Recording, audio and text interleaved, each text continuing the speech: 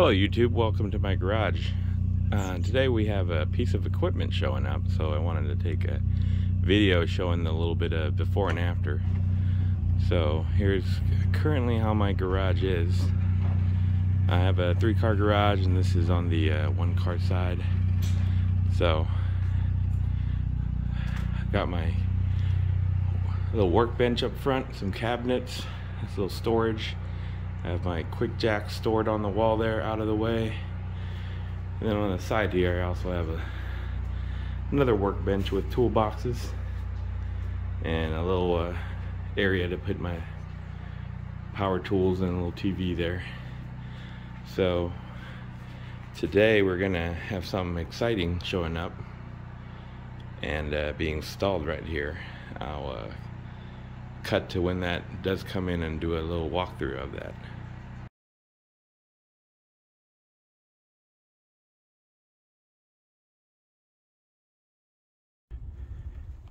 Hello YouTube, back again. Wanted to give you guys a little update on my garage project. Um, took uh, before video. Unfortunately, it's been uh, about a month later. Uh, so I got a four post lift installed. And that's uh, so that I'm able to do a couple things but one of the main thing is able to pull my my two cars in. Let me kind of show you what lift I end up getting. So so this lift is a Triumph uh, Classic, which is the shorter uh, length version of the four post lift. The capacity is 8,000 pounds, so able to uh, get the Lotus Elise on top and um, able to get the Lancer Evolution on the bottom here.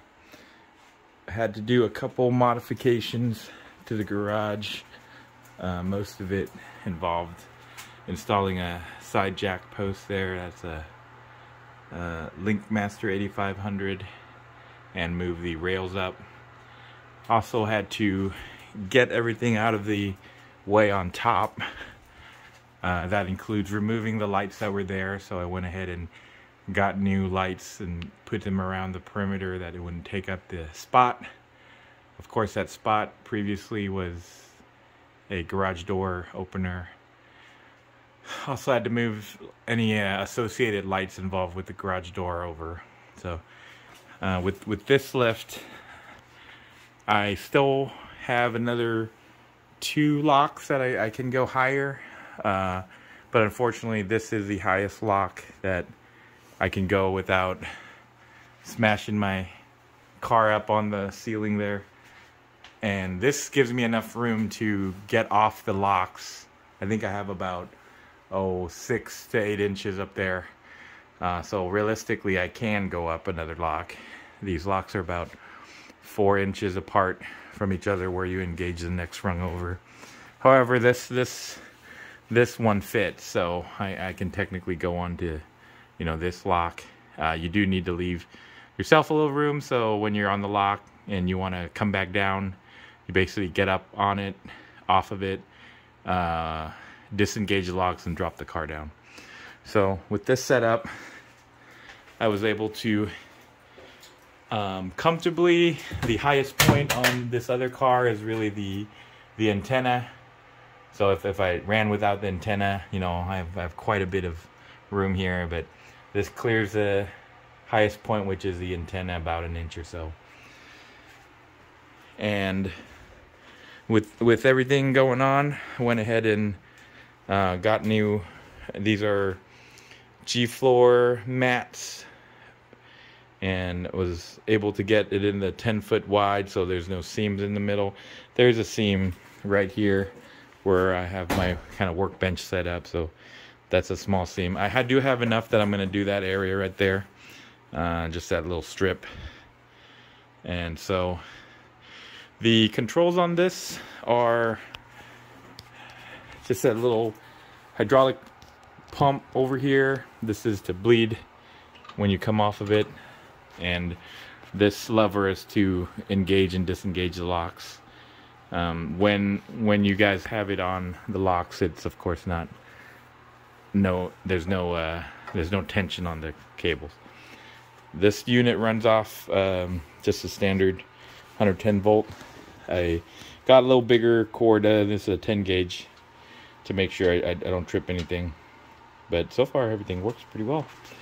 Uh, so of course the reason to get this lift uh, if you guys do some reading on the Lotus Elise as Elises and Exiges, they are have a certain way to lift the car up. Uh, there are jacking points and lifting points, and uh, did not want to kind of do the two post lift for a reason that um, you still need to take the under panel off and kind of access the middle part to properly get to the lifting points there is an alternative uh, bracket um, aftermarket they sell to add another lifting point that gets it a little easier.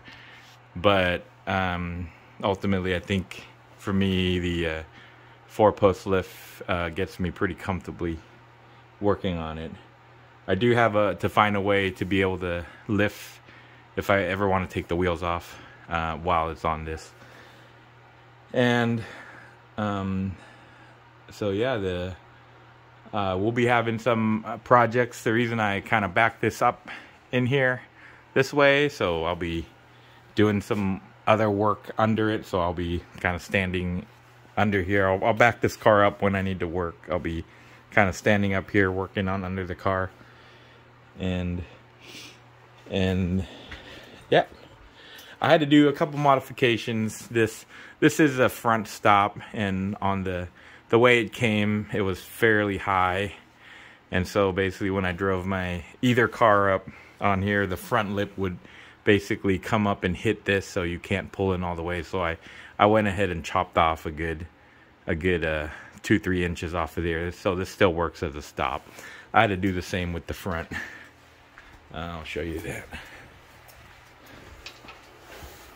So, yeah, as you can see, the way the way this was, it would uh, basically run into the lip here.